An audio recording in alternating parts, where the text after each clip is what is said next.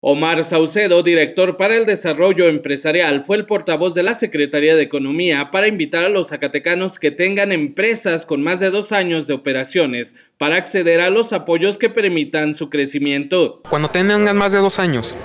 perdón, en operaciones, es donde ya entran conmigo, donde yo les busco los proyectos que puedan ser financiados o auspiciados en fondo perdido, ya sea bajo lo de las convocatorias que vienen siendo del INADEM o igual la vinculación con esas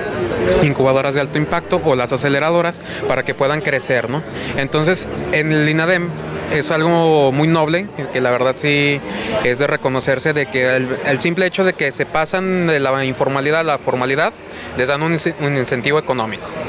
después hay una convocatoria que les dan 50 mil pesos para empezar a crecer su negocio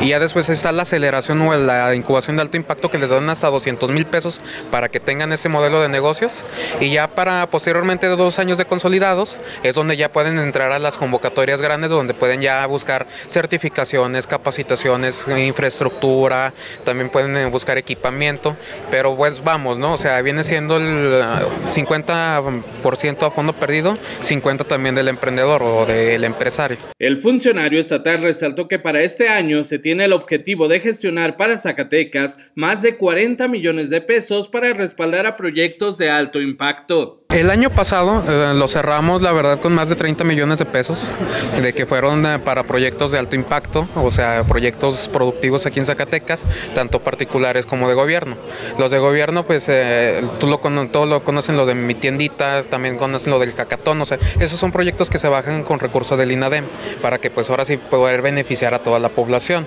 En este año, ahorita, por ser la cuestión que nos aqueja en este ciclo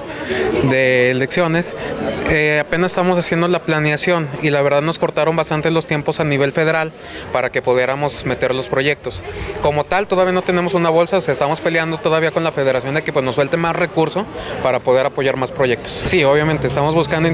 o sea, la meta de nosotros es llegar a más de 40 millones de pesos. Con imágenes de Juan Carlos Díaz para Canal 15, Alfredo Jiménez.